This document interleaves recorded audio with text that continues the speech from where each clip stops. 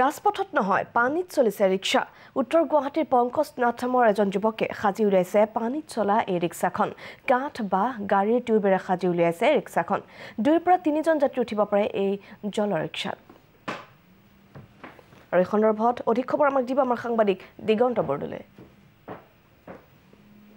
অঁ মই বৰ্তমান উপস্থিত আছোঁ এখন পানীত চলা ৰিক্সাত। আপুনি হয়তো বিভিন্ন ধৰণৰ ৰিক্সাত উঠিছে কিন্তু পানীত চলা ৰিক্সাত হয়তো কেতিয়াও উঠা নাই।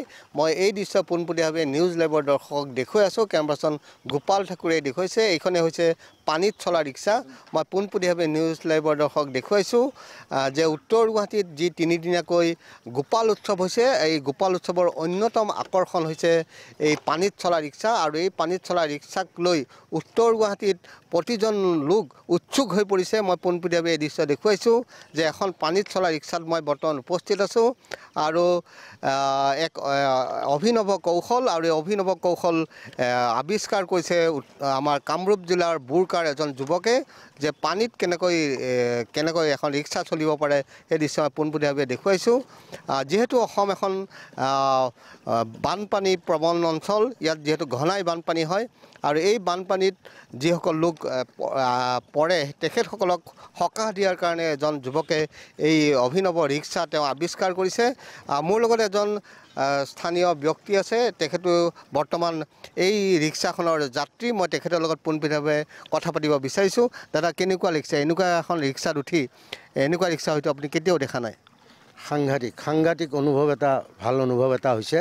আৰু তাতকৈ ডাঙৰ কথা এই ৰিক্সাখনৰ মাহাত্য এটা আছে কি সম্পূৰ্ণ বাঁহেৰে নিৰ্মাণ কৰিছে।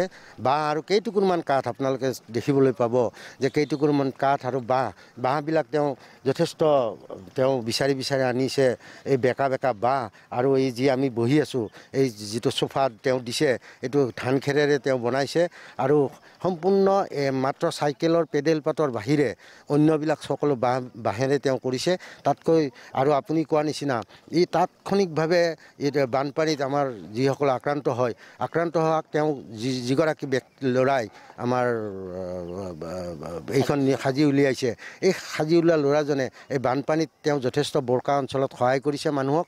গতিকে তেওঁক আমি ধন্যবাদ জনাইছোঁ আৰু এনেকুৱা ধৰণৰ পৰিকল্পনা তেওঁক ভৱিষ্যত কৰি থকাৰ কামনা কৰিছোঁ। আৰু এনেধৰণেই সকলোৱে আনন্দ প্ৰকাশ কৰিছে। কেৱল এনেধৰণৰ পানীত চলা ৰিক্সাই নহয় যিজন যুৱক সেই যুৱকজনে আন এক কৌশল তেওঁ ইতিমধ্যে আৱিষ্কাৰ কৰিছে যিহেতু এইখন আমাৰ অসমখন যিহেতু বানপানী প্ৰৱণ। গতিকে পানীত কেনেধৰণে খোজ কাঢ়িব পাৰি তাৰো এক অভিনৱ কৌশল এই যুৱকজনে উলিয়াইছে। আপুনি এনেধৰণে পানীত খোজ কাঢ়িব পাৰিব মই যুৱকজনক দেখুৱাইছোঁ আৰু এইজন যুৱকেই এই ৰিক্সাখন সাজি ওলোৱাৰ লগতে এনেধৰণে পানীত খোজ কঢ়াৰ আন এক অভিনৱ কৌশল তেখেতে আৱিষ্কাৰ কৰিছে। তেখেত যদি মোৰ ওচৰলৈ আহে তেখেতে মই তেখেতৰ লগত কথা পাতিব বিচাৰিছোঁ। তেখেতে আপোন নিশ্চয় সুন্দৰভাৱে আমাক বিশ্লেষণ কৰিব পাৰিব। দাদা আপোনাৰ লগত কথা পাতিব বিচাৰিছোঁ প্ৰথমতে সুধিব বিচাৰিছোঁ এই ৰিক্সাখন আপুনি কিহেৰে নিৰ্মাণ কৰিছে? ছাৰ নমস্কাৰ ছাৰ ছাৰ এইখন ছাৰ প্ৰথমতে তিনিটা টিউব আছে ছাৰ হাজাৰ বিছ বুলি কয় এইটো ডাম্পাৰ গাড়ীত থাকে আৰু বিশেষকৈ। আৰু ছাৰ এই তিনিটা টিউবত পাঁচ কুইণ্টল ৱেট ল'ব পাৰে ছাৰ পানীৰ ওপৰত আৰু কেপাচিটি ছাৰ গতিকে তিনি চাৰিজন মানুহ হ'লেও ধৰক আমাৰ তিনি কুইণ্টেল বা ধৰক অসুবিধা নাই। ছাৰ হয় ছাৰ তাৰ ওপৰত চেচিছ বনাইছোঁ। ধৰক চেচিছটোৰ ওজন এজন শকত মানুহে ষাঠি কেজি এনেকুৱা আৰু ছিক্সটি কেজি এনেকুৱা হ'ব আৰু। তাৰপিছত ছাৰ ইয়াত পেটেল ছিষ্টেম বনাইছোঁ যেনেকৈ যেন সহজতে আগুৱাই যাব পাৰে পিছুৱাই আহিব পাৰে। আৰু ধৰক বিপদৰ সময়ত মানুহে ধৰক এইখন লৈ বিপদত মানে সহায় পাব পাৰে ছাৰ। অভিনৱ কৌশল। লগতে আপুনি আন এক কৌশল আৱিষ্কাৰ কৰিছে যে পানীত খোজকাঢ়াৰ যি কৌশল এইটো কিহেৰে সাজিছে এইটো ছাৰ মোৰ আচলতে ব্ৰহ্মপুত্ৰ খোজকাঢ়ি পাৰ হৈ যে এটা মোৰ ইচ্ছা আছে ছাৰ। মানে সংসাৰ কৰাৰ আগত মই ব্ৰহ্মপুত্ৰ পাৰ হৈ